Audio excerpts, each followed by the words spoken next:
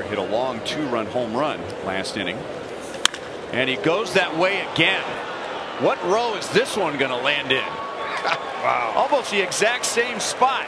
And Bobby Witt Jr. has his second two run home run in the last two innings. Love that sound. That was loud. Okay, it was a curve.